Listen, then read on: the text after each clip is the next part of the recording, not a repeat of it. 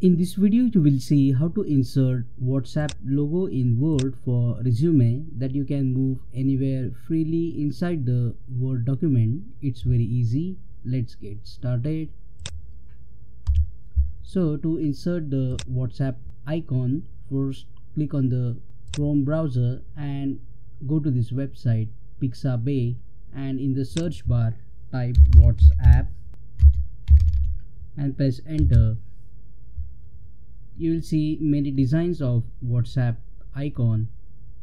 Click on any one design. Then click on free download and select the resolution. Click download. Click on i am not a robot. And here you can just verify what is written here. For example traffic lights. So i will select here traffic lights and click verify. Click on download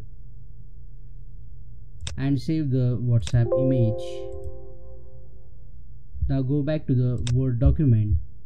Go to the insert tab. Click on pictures and select the whatsapp image that we have just downloaded. By default this is a large image.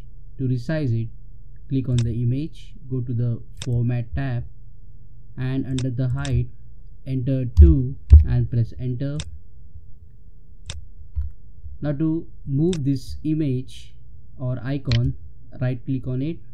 Under the wrap text select in front of text. Now you can resize the whatsapp icon and move the icon anywhere inside the word document freely. Now check out these useful videos shown on screen and don't forget to like and subscribe if this video solved your problem. Thank you